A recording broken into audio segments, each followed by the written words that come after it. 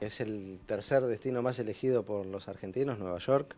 y la verdad que es una ruta que nosotros queríamos volar, una ruta que estaba prevista, incluida en el plan de negocios que en el año 2010 presentáramos en el Congreso. Estábamos esperando tener las condiciones dadas, eh, tener bien alimentadas el resto de las rutas, tener bien alimentados eh, los vuelos domésticos fundamentalmente, tener los aviones para poder iniciar las operaciones a Nueva York otra vez. Y la verdad que estamos muy contentos que el 15 de diciembre Aerolíneas Argentinas vuelve a Nueva York. Una frecuencia diaria, siete vuelos semanales, que van a ser nocturnos y que van a conectar con los vuelos de Delta, una compañía socia nuestra en la Alianza SkyTeam, que tiene su hub en Nueva York y desde ahí eh, los argentinos, a través de aerolíneas argentinas y de su socia, van a poder no solamente llegar a Nueva York, sino conectar con el resto de las ciudades de Estados Unidos. Los destinos a los que ya volamos se encuentren suficientemente alimentados, que tengan buena cantidad de frecuencias, de manera tal de poder cumplir con el objetivo principal, que es el de dar conectividad a los argentinos dentro de la Argentina primero,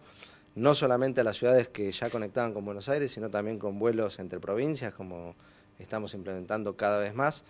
y, poco a poco ir creciendo en los destinos regionales, en los países limítrofes, y ahora también la buena noticia de volver a, volar un destino tan esperado para los argentinos como es Nueva York. Son acciones que, que veníamos pensando hace tiempo, planificando, que no las vendemos como marketing, que no hacemos como algunos que venden humo en gestiones, de, sobre todo de municipios del conurbano bonaerense, sino que son hechos concretos que a nosotros nos gusta este, presentar cuando están cumplidos, que son reales. No, no es marketing, no es humo, sino que son realidades concretas que lleva adelante una gestión de gente joven que, que encara los problemas y busca las soluciones y, con trabajo,